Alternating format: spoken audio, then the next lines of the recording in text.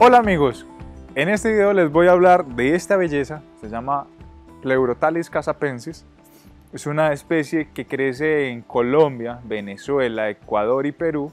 Crece en elevaciones de 600 a 2800 metros sobre el nivel del mar. Es una especie muy bonita, como pueden ver aquí su floración. Esta normalmente crece y florece eh, con flores, una naranja tirando amarillo eh, en la base de su hoja.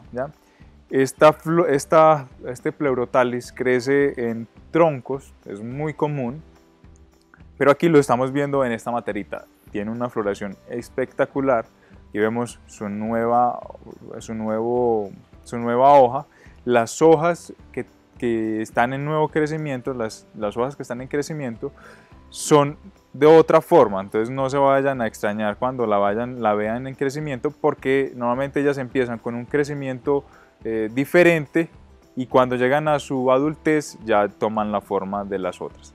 Normalmente siempre florecen en la base de su hoja, es una planta que necesita muy buena humedad, necesita al mismo tiempo muy buen drenaje, necesita eh, buena humedad y buena luminosidad. Listo, necesita buena luz también para su florescencia.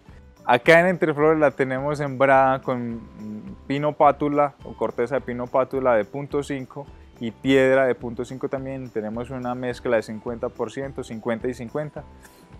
La tenemos con muy buena luminosidad y muy buena humedad. Esta planta es muy bonita, normalmente no es muy común verla en en cultivo, los invito a que la cultiven, la, cuiden y la disfruten.